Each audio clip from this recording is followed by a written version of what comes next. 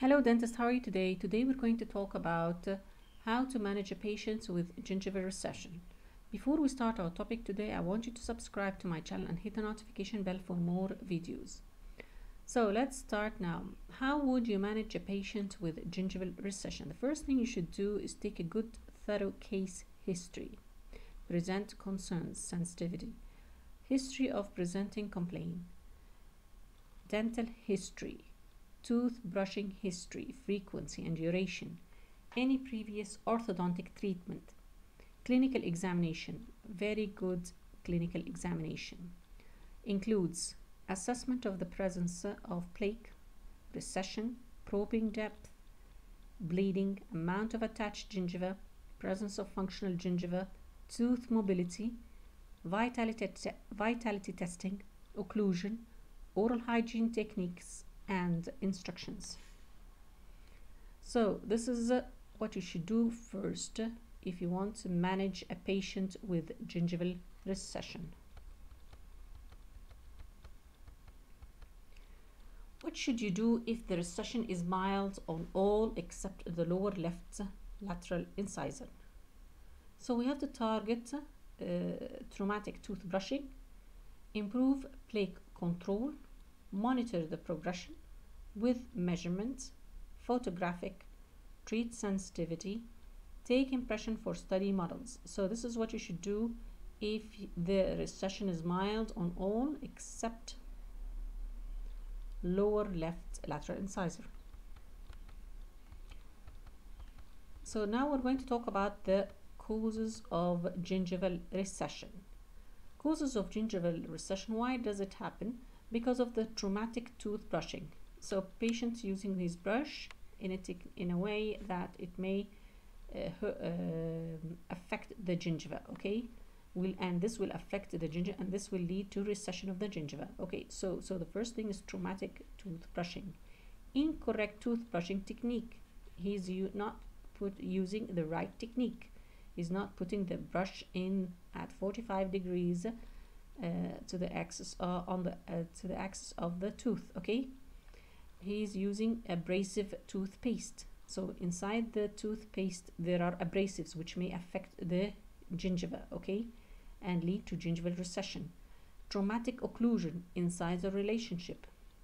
Uh, tooth out of arch. If, if the tooth is out of arch this will lead to gingival recession. Orthodontic movement of the tooth labially. If the tooth is moved labially and here uh, finally uh, the habits such as rubbing of the gingiva with fingernails or pen. So if you some kids they use their uh, pens in their mouth okay and this will lead to gingival recession or or even using their fingernails.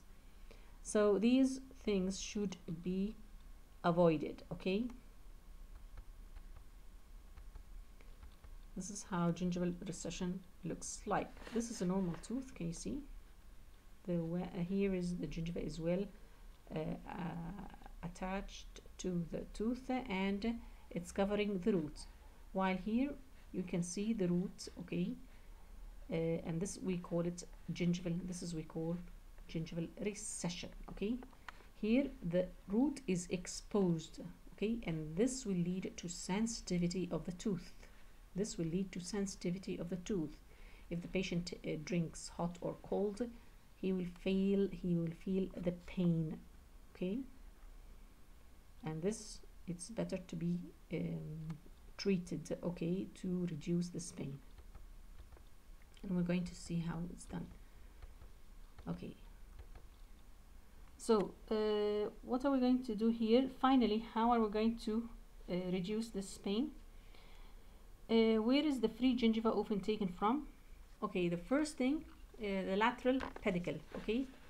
So from the gingival uh, we make a mucogingival surgery to correct the recession. So we're going to make mucogingival surgery to correct the recession. The first type uh, by a lateral pedicle uh, lateral pedicle graft okay? This is called lateral pedicle graft. And here we have the second type is double papilla papillae flap okay?